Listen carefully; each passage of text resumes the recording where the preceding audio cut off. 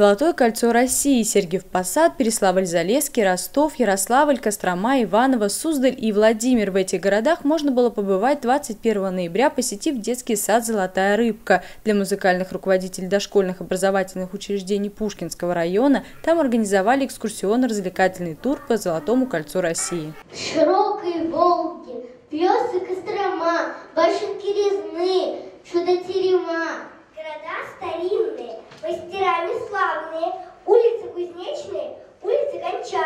Первым местом стал Мышкин. Этот город входит в список населенных пунктов, посещаемых в рамках тура по Золотому кольцу России. Славится это место единственным в мире музеем мыши. Представили город Мышкин дети из младшей группы. Милые маленькие мышата станцевали для гостей. Мы представляли город Мышкин. Этот город связан с мышами. А вы знаете, мыши связаны с деньгами. Если у вас завелись в доме мыши, это к деньгам. Затем все очень быстро переместились в Сергиев Посад. Это единственный город Московской области, включенный в Золотое кольцо России. Представили Сергиев Посад девочки-матрешки из еще одной младшей группы.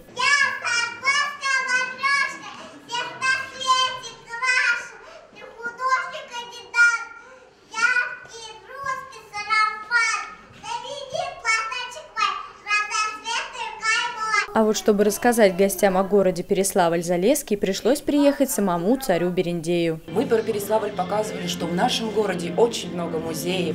Он славится русским флотом, началом. Петр I начал русский флот российский.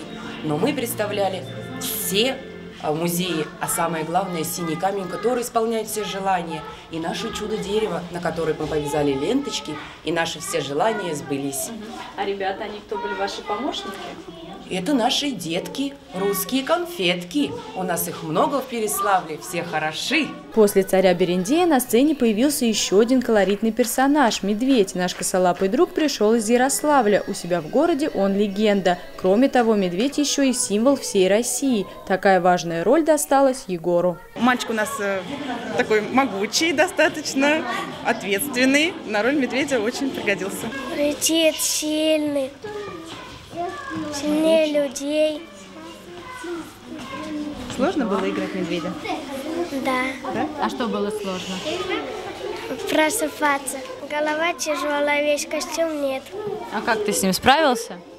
Да. Знакомство с Суздалем началось с частушек. Девочки из средней группы пели и танцевали. Особенностью города являются мастерицы-рукодельницы. Все вместе девочки пряли и шили. В конце у них получилось целое одеяло.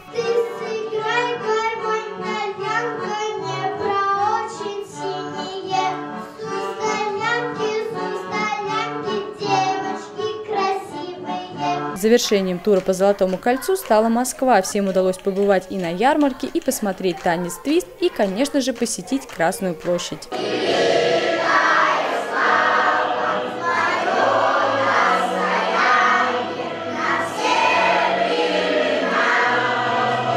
Участие в презентации приняли все шесть групп, поэтому показать все города из Золотого кольца не получилось. Выбрали те, которые интересны родителям и детям. Одним из этапов подготовки к проекту было посещение самих городов. Это была грандиозная работа, проделанная всем коллективом, педагогическим составом. А, мы представляли город Ярославль, один из древнейших городов России. А, с ребятами делали как и занятия проводили, так и беседы, и дети ездили в Ярославль экскурсию с родителями совместно. Создан проект «Золотое кольцо России» был три года назад творческой инициативной группой детского садика «Золотая рыбка». Для экскурсионно-развлекательного тура написали целый сценарий. Проект является долгосрочным и показывают его ежегодно. У нас здесь вот выступали детки, которые, некоторые из них были аутисты, некоторые детки с ДЦП, но вы их даже и не поняли, потому что они так старались, такие молодцы, и со всеми детьми у них вот было такое настроение позитивное, и они себя как в этой роли показали хорошо. В детском садике «Золотая рыбка» уделяют особое внимание нравственно-патриотическому воспитанию. Здесь детям рассказывают историю страны и прививают им любовь не только к России, но и к своей маленькой родине. Мы задаем задаем вопрос детям, где вы отдыхали, что вы видели, да, обычные беседы с детьми. А, соответственно, дети у нас отдыхали в основном в Турции, в Египте, да, и а, как так вот? То есть все там знают, все видели, плавают, загорают, а здесь историю своих а, городов никто не знает, даже города Пушкина, понимаете? Поэтому это была актуальной темой. И, и вот в связи с этим и родился такой проект. Всем музыкальным руководителям Пушкинского района, которые побывали на презентации, выступления детей понравились. У некоторых даже не было слов, чтобы передать свой восторг. Кроме того, проект имеет и интерактивную часть. Почти в каждом номере воспитатели предлагали поиграть зрителям. Например, в Суздале гости исполняли частушки. Я свеколка, я милашка фиолетовой рубашки, и украшаю я вообще в винегрете и в борще.